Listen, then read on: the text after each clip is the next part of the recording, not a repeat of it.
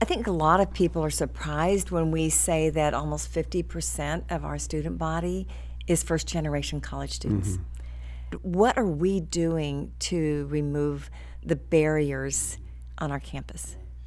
We have um, done a lot of stuff. We call it wraparound services to make sure students have the support they need once they get here. And one of the things that we're doing is uh, renovating the old Clinton Hall um, into the Shocker Success Center. Right. And we're moving 20 offices to that facility yeah. uh, that are all over campus.